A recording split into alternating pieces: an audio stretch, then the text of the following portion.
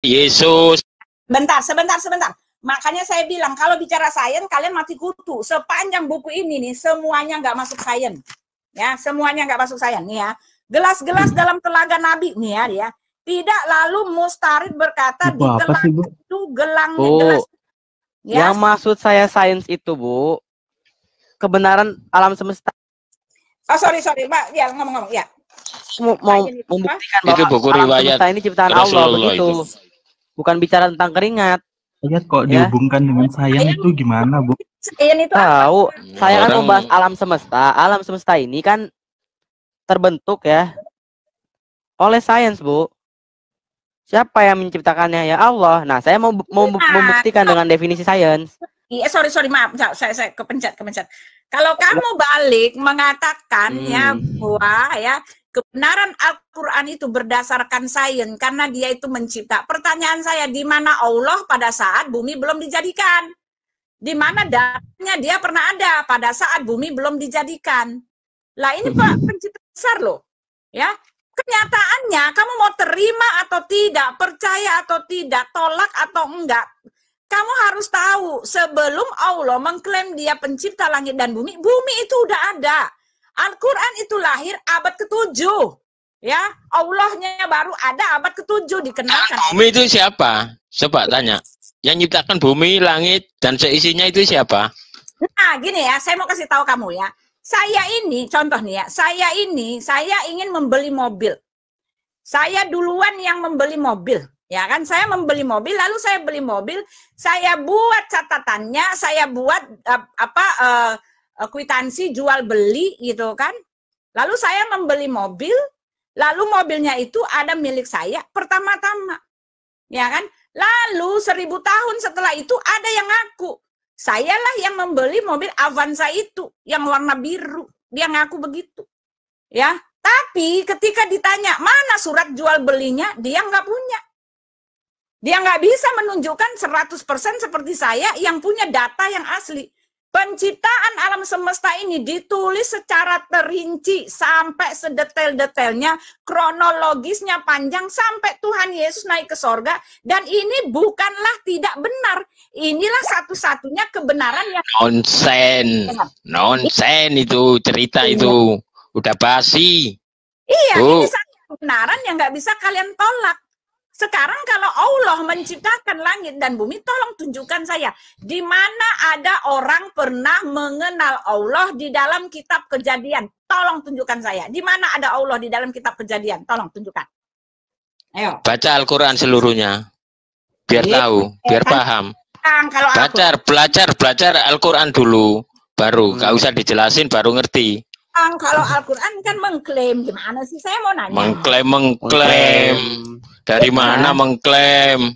kalau kamu Bu, klaim, bu. ayo, Bicara ayo. definisi sains gak mau ya. Loh, Bicara tauhid gak mau. Kita enggak? bicara tauhid aja dibilangnya ngeklaim. Iya, silakan. Tapi diajak diajak ngebahas definisi sains dia nggak mau. Tauhid, Padahal dalam Al-Qur'an tobat, bu. Umur sudah dekat. Ah, udah. Hmm. Surga apa masuk neraka? Tinggal Ya. pilih. Tuh, lari ke fisik. Udah, apa? Tentang tauhid, ceritakan tentang tauhid. Ya. dari tadi kita Kamu mau gereja mana? Kamu mau pergi ke Kok gereja? nanya gereja sih? Gereja. nyambung lo. Nanya gereja, lu udah kena azab nggak tahu diri lagi. Sorry ya, sorry. Malah ya. malah menyesatkan orang banyak kau ber. Mana ada orang kena ajab kayak gue? Memenangkan jiwa.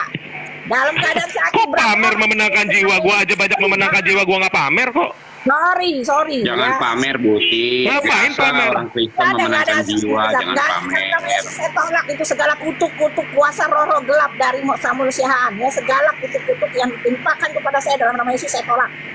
Kembali Hah? kepada dirinya. Oke, boleh. besok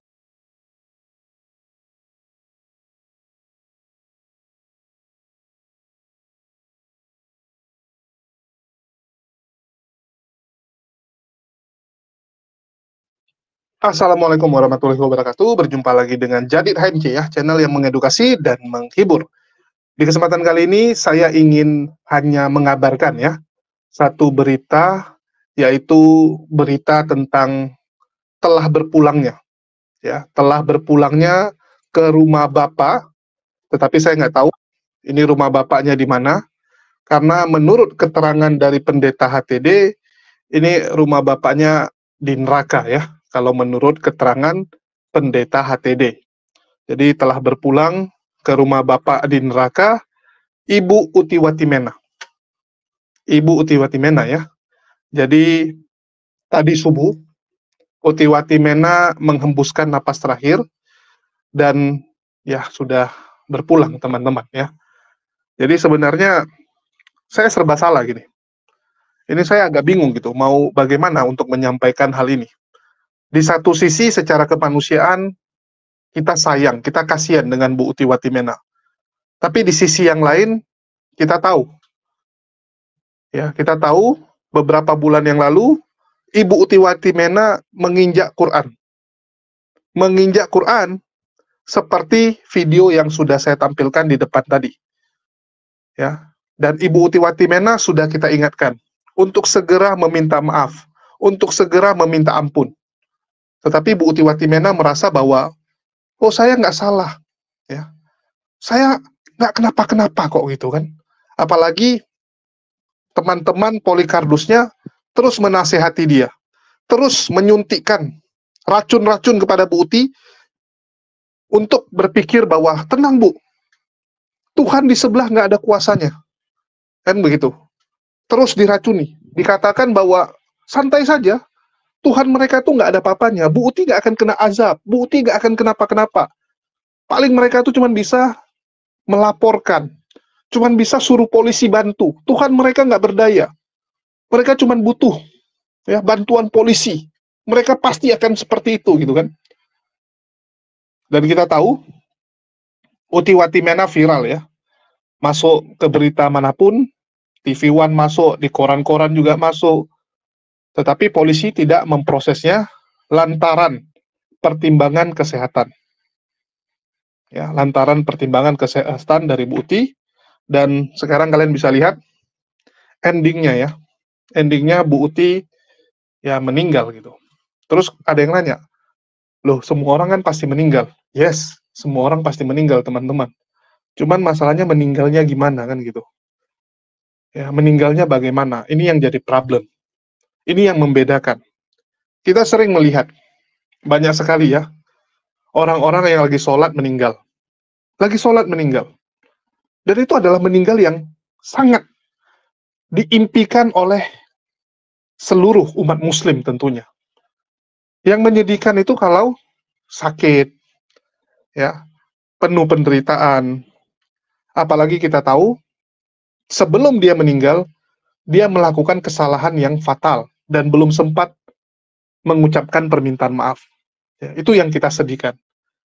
Di sini saya kasih tahu ya sedikit info buat teman-teman. Ya, semua saya sudah tahu dari bulan lalu bagaimana Bu Utiwati Menatu makin drop. Tetapi ya saya nggak mau bahas karena saya tahu Nanti begitu saya bahas, ini akan ikut digoreng oleh teman-teman yang lain. Dan ya kasihan saja gitu di satu sisi. Ya, tetapi kalau di sini kita sudah bisa umumkan karena memang orangnya sudah meninggal. Ya. Jadi Bu Tiwati Mena menambah menambah jumlah polikardus-polikardus yang meninggal setelah menghina agama Islam. Sebelumnya sudah ada pendeta mengapul sagala. Komplain suara toa. Komplain Islam di daerah dia. Nggak lama kemudian meninggal. Padahal sehat-sehat saja. Ya. Mangapul itu sehat saja. Meninggal gara-gara jantungan setelah drop, setelah jatuh pingsan saat mengajar. Saat lagi mengajar, jatuh masuk rumah sakit, nggak lama kemudian meninggal. Terus ada juga domba kecil Wah, kalau domba kecil lebih tragis lagi, teman-teman. Ya, domba kecil meninggal setelah menantang Allah. Beberapa hari sebelumnya dia bilang mana itu Tuhannya umat Muslim. Nggak ada itu Tuhannya gitu. Dia menantang Allah. Terus tahu nggak meninggalnya gimana teman-teman? Ya, ini satu setengah tahun yang lalu juga meninggal. Dia perbaiki mesin cuci Ya, istrinya bilang mesin cuci rusak di lantai atas, dia naik ke atas, ya. dan tidak turun-turun lagi. Setelah berjam-jam istrinya cek, rupanya sudah ini ya, sudah pingsan. Sudah pingsan dibawa ke rumah sakit dan rupanya sudah tidak tertolong. Sedih nggak? Ya, Sedih, teman-teman. Kalau mereka bandingkan dengan meninggalnya almarhum Ustadz Moko Ginta, ya kita tahu Ustadz Moko Ginta gimana meninggalnya, teman-teman. Sholat, lagi sholat. Jadi beda sekali ya. Dan semoga apa yang terjadi pada Bu Uti Watimena, Mangapul, Domba Kecil, dan Polikarpus yang lain ya. Ada Ali Markus juga. Ya, Ali Markus tragis juga. Lidahnya keluar. Waduh, Mangapul gosong.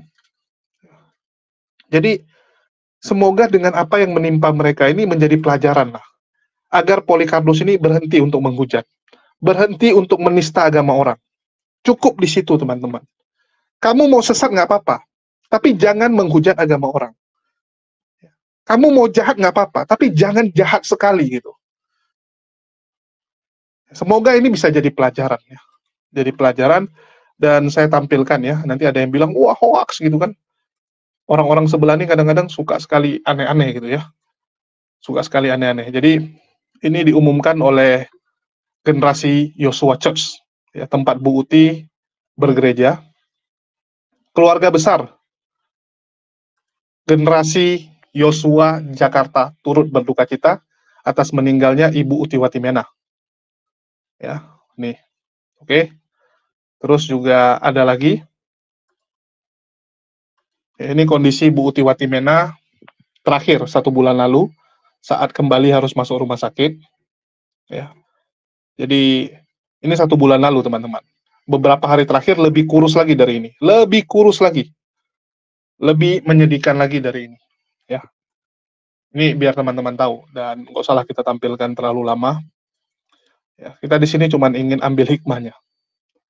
Jadi banyak polikardus-polikardus di luar sana itu yang meracuni Bu Uti ya, untuk terus menghujat Islam supaya apa? Supaya donaturnya masuk dan dia punya uang untuk biaya perawatan.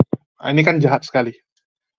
Banyak sekali polikardus yang seperti itu, teman-teman. Udah jelas Bu Uti lagi sakit, bukannya didukung, bukannya dinasehati, tapi malah apa? Diprovokasi. Nggak usah takut, agama sebelah tuh nggak ada apa-apanya. Nah, ini beda, teman-teman. Ya, Beda dengan umat muslim. Kita lihat logika. Ya, Logika menginjak Bible. Apa yang kami lakukan? Kami nasihati. Kami katakan itu salah. Bahkan ada beberapa orang yang cukup keras ngomong kepada logika. Ya, walaupun logika bilang loh, mereka menghujat Nabi, mereka putar lagu menghujat Nabi. Saya masuk ke Komalia, ya, saya lakukan hal yang sama. Kalaupun nanti ditangkap, ya udah sekalian semua. Jadi logika mengorbankan dirinya. Seandainya diproses oleh pihak kepolisian, maka semua yang ada di room itu pasti kena, karena mereka juga melakukan penghujatan. Ya, mereka bukan diam, tapi mereka juga menghujat, kan begitu. Dan itu bisa dicari, ya, bisa ditrace siapa yang duluan apakah mereka duluan menghina Nabi, menghujat Nabi, menghujat Islam, ataukah logika yang duluan nginjak? Karena menurut keterangan logika, dia masuk gara-gara tidak tahan melihat hujatan mereka. Itu logika. Bayangkan, dia lakukan seperti itu saja, itu umat muslim nasihati. Umat muslim nasihati. Beda dengan Uti Watimena, yang nggak ada angin, nggak ada badai, lagi diskusi santai, tidak keras-kerasan, tapi menginjak Quran. Disuruh minta maaf nggak mau. Nah, inilah kadang-kadang bebalnya orang-orang ini ya. Apa salahnya sih minta maaf? Kenapa selalu berpikir, wah janganlah, nanti minta maaf, maka saya kalah. Maka kelompok saya akan dianggap kalah. Apa-apaan itu teman-teman? Ya, Pikiran apa itu? Minta maaf itu tidak menandakan. ya, menandakan bahwa Anda ya, itu sudah kalah. Enggak, enggak ada teman-teman. Jadi ingatlah, hukuman itu, ya mungkin Anda akan selamat di dunia, tapi di akhirat enggak. Anda mungkin akan selamat dari hukuman manusia, tapi enggak, enggak akan Anda selamat dari hukuman Allah. Enggak akan. Ya, Begitu juga dengan si siapa Sofiatul. Sofiatul Almayat itu ya, yang juga menginjak Quran. Ya kita lihatlah. Ya kita lihat berapa lama gitu. Ya, Kita lihat berapa lama. Terus nanti pihak sebelah pasti akan ngomong apa? Lihat itu, Rifa juga kena azab. Ya, Logika bentar lagi, ya kita tunggulah. Kan begitu, kita tunggu teman-teman. Kalau memang mereka salah, ya Allah akan hukum. Allah akan hukum. Tapi kalau Uni Rifa tahu saya udah mulai sembuh. Udah lari-lari dia. Ya, udah lari-lari. Bahkan saya bilang kalau nanti sudah fit 100%, saya mau buat konten Uniriva lari-lari. Ya. Kita buat konten seperti itu. Oke? Kita lomba lari. Kalau masalah logika, sekali lagi. Saya sudah katakan, kita sudah melakukan bagian kami. Kami melakukannya. Kalian yang bagaimana? Saya sudah tampilkan di konten sebelumnya. Ya, mungkin teman-teman silakan cek videonya di link bawah ini ya. Saya taruh. Bagaimana perbedaan sikap antara umat muslim dan para laskar Polikardus dalam menyikapi penginjakan kitab suci. Umat muslim marah kepada logika. Marah. Sedangkan Polikardus, ya, laskar-laskarnya malah dukung. Malah apa yang dilakukan oleh Sofiatul itu mendapatkan pujian, dukungan besar-besaran. Dibilang mantap, Bu Sofi sudah mewakili kami, pantas kadrun itu mendapatkannya. Kalian bisa lihat seberapa besar kebencian kalian. Besar sekali kebenciannya, teman-teman. Selalu ngomong kasih, kasih, kasih. Tapi yang ada apa? Kasih hujatan, kasih makian gitu. Apa nggak sadar? Siapa sebenarnya penghujat itu? Coba kalian pikirkan.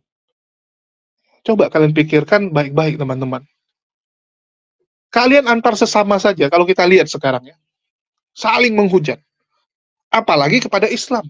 Ya. Sesama mereka aja mereka saling menghujat sampai sekarang. Apalagi kepada Islam. Pasti akan jauh lebih sadis, teman-teman. Jadi apa yang kita harap dari orang-orang seperti ini? Coba saya tanya. Yang bisa kita harap adalah mereka bertobat. Mereka bertobat untuk berhenti menghujat agama orang.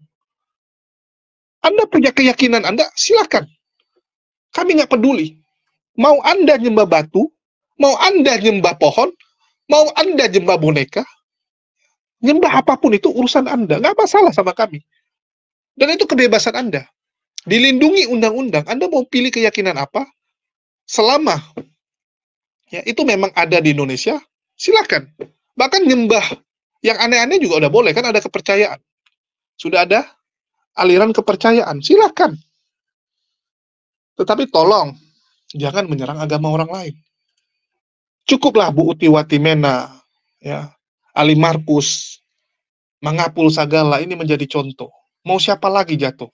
Siapa lagi yang jadi korban berikutnya? Coba saya tanya. Ya, baru kalian ini baru sadar. Kalian mungkin bisa lepas dari penghukuman dunia, teman-teman. Tapi penghukuman nanti, Gak ada satupun orang bisa lepas. Gak ada. Sehebat apa pun Anda, sekuat apa pun Anda, gak bisa lepas teman-teman. Ya. Jadi satu hal yang saya sesalkan untuk Bu Uti ya. Bu Uti itu padahal sempat vakum ya saat dia pertama sekali mengetahui penyakitnya dia vakum, fokus dengan pengobatannya, ya itu sudah bagus. Sudah bagus sekali. Tetapi lantaran tuntutan ya, tuntutan hidup, tuntutan tagihan, ya, dia terpaksa harus kembali menjadi polikardus. Bahkan menjadi polikardus yang lebih ganas lagi. Karena mungkin sebelumnya donasinya sudah berkurang, Bu Uti sudah dianggap ketinggalan zaman. Sekarang mulai bermunculan polikardus baru yang hujatannya lebih sadis. Sehingga donasi buat Bu Uti itu turun, ya, sangat kecil. Mau nggak mau Bu Uti ikut perkembangan zaman. Ikut perkembangan zaman dengan cara apa? Menghujat agama Islam lebih sadis. Jadi kalau dibilang ini ajaran progresif ya, seperti konten yang tadi, ini ajaran Polikardus progresif ini. Harus terus menghujat lebih sadis supaya dapat atensi, dapat perhatian dari donaturnya. Dan terakhir jeblok, ya, karena Bu Uti tanpa sengaja membuka kameranya saat live dan tampaklah ya tampak kaki Bu Uti sedang menginjak Quran. Kenapa bisa tanpa sengaja teropen cam? Ya ini atas kehendak Allah. Nggak mungkin tiba-tiba nggak ada sengaja kita tekan open cam gitu. Nggak ada teman-teman. Itu Allah yang berkehendak. Allah yang berkehendak. Dari situ Bu Uti ketakutan. Ya. Ketakutan masuk penjara. Apalagi wajah dia terpampang sudah masuk berita ya. Sudah masuk berita nasional gitu kan. Dan pastinya tetangganya juga tahu, keluarganya pasti tahu. Orang-orang pasti akan menghubungi dia ya yang di luar debat. Yang di luar debat pasti ada hubungi dia juga kan menanyakan kenapa kamu lakukan ini bahaya loh. Ini tetangga kita banyak yang muslim dan sebagainya gitu. Dan itu menjadi beban pikiran Bu Uti. Menjadi beban pikiran, nggak lama kemudian dia down. Langsung masuk rumah sakit lagi. Ya, sejak itu dia jadi rajin keluar masuk rumah sakit. Itulah saya bilang, cobalah pikirkan baik-baik teman-teman. Terutama yang polikardus-polikardus. Worth it nggak? Kalian dapat dunia, kalian mungkin dapat duit, ya bisa beli ini, bisa beli itu, tapi hidupnya nggak tenang. Ya, hidupnya nggak tenang. Apa gunanya? Contoh kiamat sekarang. Hidupnya nggak tenang. Hidupnya penuh dengan kecemasan. Untuk apa gitu? Coba saya tanya, untuk apa? Nggak bisa keluar, ya, nggak bisa ngajak teman makan, nggak bisa kayak yang dilakukan oleh kami gitu kan? Kita kopdar, ya kita juga bisa bukber bareng, bisa ngopi bareng, baik itu dengan yang sesama muslim maupun dengan yang beda iman. Bukankah itu jauh lebih bahagia? Daripada Anda dapatkan uang ya, yang tak seberapa itu, yang hanya bisa dinikmati di dunia. Ya, cuman bisa apa? Dinikmati di dunia. Berapa lama? Berapa lama Anda bisa nikmati uang itu? Cobalah. 10 tahun? 20 tahun? 30 tahun? Cuman segitu. Cuman segitu, teman-teman. Apa gunanya? Ya, Jadi buat Bu Uti, ya kita cukup menyayangkan lah. Karena akhir hidupnya ditutup dengan cara seperti ini ya. Dengan cara malah menginjak Quran. Ya, tetapi saya yakin Allah punya rencana. Ya, Allah punya rencana. Bisa jadi dengan adanya Uti ini ya, dan kejadian ini membuat polikardus-polikardus yang lain berpikir ulang nih. Ya, berpikir ulang kalau mau menginjak Quran.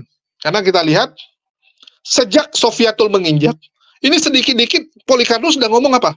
Kok saya injak nih Quran kalian? Saya injak. Jadi ketagihan mereka menginjak Quran. Sedikit-dikit mengancam akan menginjak Quran. Minimal dengan adanya hukuman buat Bu Uti ini, ini akan membuat mereka berpikir ulang. Mereka mulai berpikir, wah kita bisa selamat dari polisi, tapi dari hukuman yang di atas nggak bisa kan begitu. Nah, ini membuat mereka mereview kembali untuk melakukan tindakan-tindakan kurang hajar, tidak bermoral seperti itu. Ya, Jadi plus minus lah, Ya, plus minus. Dan buat keluarga Bu Uti, ya kita turut berduka cita, ya, turut berduka cita. Dan ke mana Bu Uti setelah meninggal, ya kita nggak tahu. Kalau menurut versi pendeta HTD, ke rumah bapak yang di neraka. Ya, Memang ke rumah bapak, tapi bapaknya di neraka gitu, menurut pendeta HTD ya. Dan di situ dia akan hidup ya, seperti apa? Wah, seperti robot. Seperti robot yang bentuknya malaikat. Malaikat dia, tapi kayak robot. Karena tugas dia cuma nyanyi. Tugas dia cuma nyanyi, teman-teman. Memuji, menyembah nonstop. Nonstop. Tidak ada kegiatan lain dan dia tidak akan mengenal kalian. Ya, tidak akan mengenal orang-orang yang sudah ke sana juga. Tidak mengenal nanti keluarganya yang akan ke sana. Nggak ada. Jadi antar kalian, ya, Polikardus ini, yang saat di dunia mungkin kalian adalah teman baik, sama-sama penghujat kelas berat. Nanti setelah kalian meninggal, kalian nggak akan saling mengenal. Ya, Kalian nggak akan saling mengenal, karena kalian akan diciptakan kembali dengan tubuh yang sama, yaitu sebagai robot bentuk malaikat. robot bentuk malaikat. Itu aja. Kalian akan menyaksikan perang naga dan sebagainya. Ya, Nggak ada kegiatan yang lain. Jadi selama di dunia, ya nikmatilah. Nikmatilah hasil dari kalian menghujat, nikmatilah apa yang bisa kalian dapat ini, nikmatilah uang para donatur Islamophobia ini. Ya, Silakan. Tapi kalau bagi teman-teman yang setelah melihat apa yang terjadi ini ya, terjadi kepada Mangapul, terjadi kepada Uti, itu mulai berpikir, mulai mereview, mulai ingin bertobat, ya tinggalkanlah. Tinggalkanlah dunia debat, tinggalkanlah penghujatan kepada agama orang lain. Kalau mau mengcounter silakan. Ya, kalau kalian misalnya menganggap gini, apa yang disampaikan Bang Zuma salah, silakan Anda sanggah pernyataan Bang Zuma. Kalau Anda merasa apa yang disampaikan Ustadz Kainama ini salah, silakan Anda sanggah apa yang disampaikan Ustadz Kainama. Jangan Anda jelek-jelekkan Islam. Jangan Anda sangkut pautkan dengan Islam. Oh, agama Islam tuh begini, begini, begini. Kalau Anda merasa oknumnya salah, serang oknumnya. Serang oknumnya. Kalian bisa lihat, kalau saya, yang saya serang oknumnya. Mohon maaf, saya katakan oknum-oknum tersebut bukan Kristen. Saya bilang ajarannya, betul. Tapi ajaran mereka bukan Kristen. Ajaran yang dianut Bu Uti Watimena. Sofiatul, bukan Kristen. Karena Kristen nggak mengajarkan menginjak kitab orang. Nggak ada.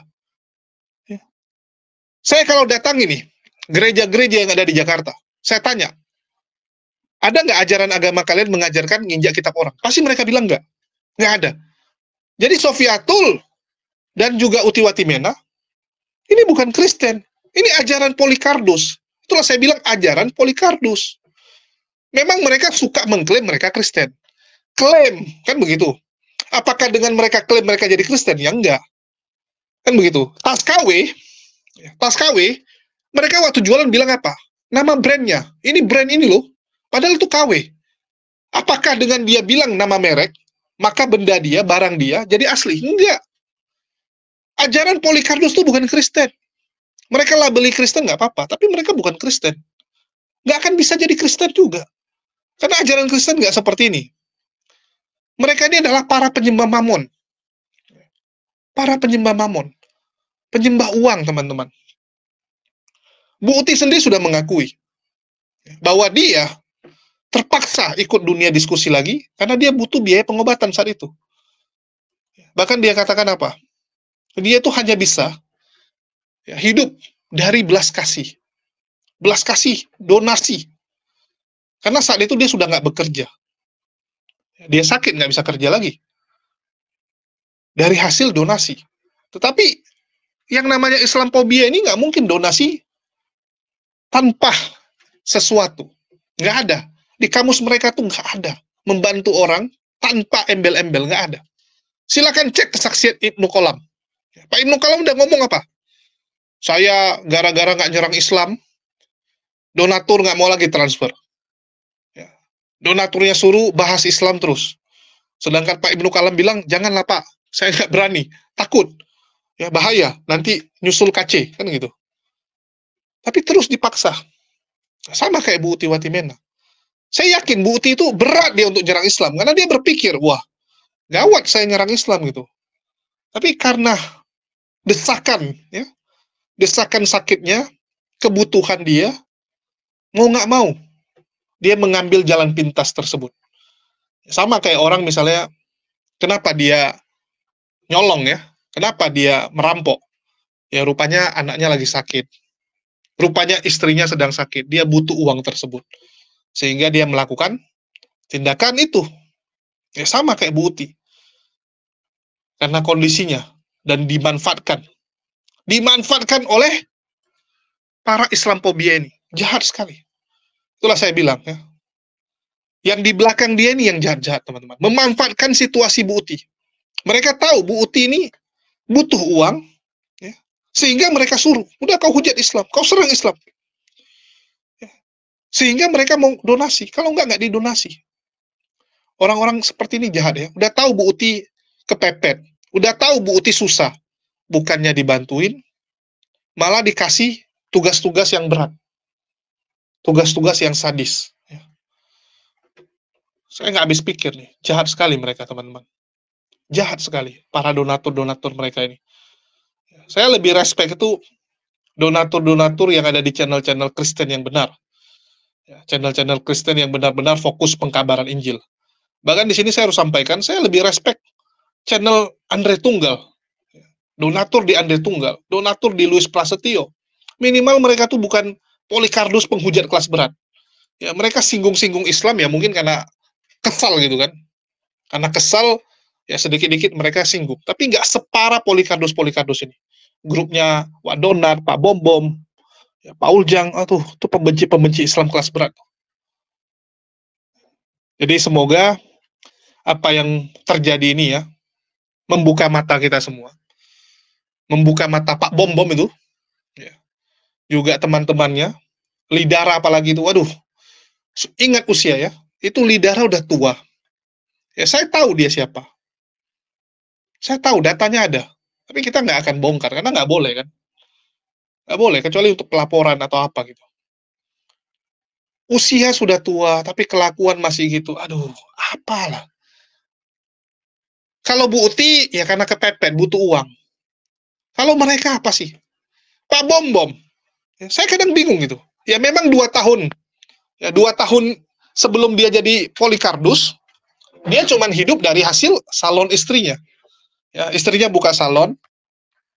Dia cuman hidup dari sana sehingga mungkin malu gitu kan masa sebagai laki dibiayai sama istri. Ya kan kamu bisa cari kerjaan lain gitu. Bantu ke istri kamu di salon, kamu jadi kasir atau kamu yang ngepel. Daripada kamu jadi polikardus. Kan kamu belum kepepet gitu. Kalau Buti oke okay lah, kepepet, butuh duit, butuh duit, mau nggak mau, udahlah maju gitu kan. Kalau kalian kan nggak kepepet, kenapa kalian pilih jalan itu?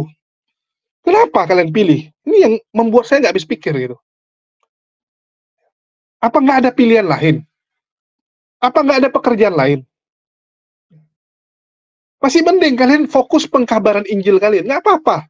Silakan kalian mau 24 jam ngomong tentang kekristenan, nggak apa-apa. Silakan. Tapi jangan bahas Islam. Jangan singgung agama Islam. Ini yang nggak benar.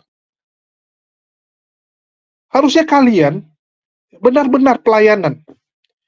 Tanya sama gereja, ada nggak kerjaan jadi misionaris dikirim ke mana? ya dikirim mungkin ke Jawa ya atau ke Aceh atau ke mana gitu. Masih mending. Artinya kalian resmi. Ini enggak sekolah tidak. Sekolah pendeta tidak. Sekolah teologi tidak. Tiba-tiba ucup-ucup mengklaim dirinya Laskar Kristus mengangkat dirinya sebagai pendebat Kristen. Halo? Ya, dari mana ini kalian nih jadi memang hantu belau, gue bilang nih. Orang-orang hantu belau semua ini. Nggak jelas identitasnya, nggak jelas pengajarannya, main asal-asal hantam, nanti ngeklaim S2, S3 lagi gitu kan. Astagfirullah. Kok bisa lah. Ya, semoga dengan video Utiwati Mena ini membuka mata mereka lah. Ya, kalau memang nggak bisa dibuka lagi mata mereka, ya saya nggak tahu apa memang harus Allah yang membukakan mata mereka, mencongkel mata mereka keluar, baru mata mereka ini terbuka. Ya, apakah harus sampai mereka di kondisi Bu Uti Watimena baru mereka sadar? Ya, saya nggak tahu. Dan saya berani yakin, ya, ini menurut saya nih, saya yakin ya, Uti Watimena di hari-hari terakhir hidupnya, di detik-detik terakhir hidupnya, dia menyesali apa yang sudah dia lakukan. Dia menyesali sudah menginjak Quran.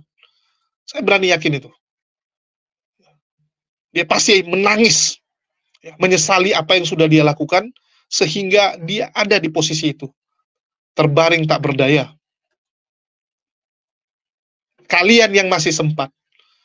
Kalian kalian nih polikardus di luar yang masih sempat segeralah bertobat. Segeralah bertobat ya. Jadi mungkin itu aja yang bisa saya sampaikan dan umumkan ya. Jadi fokus kita adalah pengumuman turut berduka cita ya buat keluarga Bu Uti Watimena ya, atas berpulangnya Uti Watimena. Ya, mungkin itu aja dari saya dan mungkin bentar lagi akan banyak nih channel-channel lain yang membahas ini. Ya. Dan sekali lagi kita maafkan lah. Ya, saya katakan mari kita maafkan Bu Uti. Biarkanlah Bu Uti berurusan dengan Allah. Ini bukan ranah kita lagi. Ya, karena ya sebenarnya bukan apa ya, bukan kita gitu yang disakiti ya, tapi dia sendiri yang cari penyakit gitu dia menghujat agama Islam juga tidak akan membuat cahaya kemuliaan Islam itu berkurang. Nggak ada sama sekali. Malah kembali ke dia yang dapat impact-nya. Dia yang dapat negatifnya kan gitu. Bodoh sekali orang seperti ini. Ini seperti apa tau? Kalian kayak lempari tembok baja gitu pakai batu ya, kalian lempari tembok baja pakai batu batu yang mental ke kepala kalian sendiri gitu. Nah, itulah yang dilakukan Polikardus Polikardus ini. Nggak ada efeknya kepada Islam. Ya. kalau kepada kami ya umatnya gitu kan banyak yang bilang loh buktinya kalian marah buktinya kalian ngamuk gitu kan. Ya kami nggak tahan aja gitu. Tembok rumah kami kalian lempari gitu. Walaupun memang nggak akan rusak gitu. Ya baja itu ya dinding baja itu nggak akan nggak akan kenapa-kenapa. Tapi kesal aja kan gitu dilempari gitu.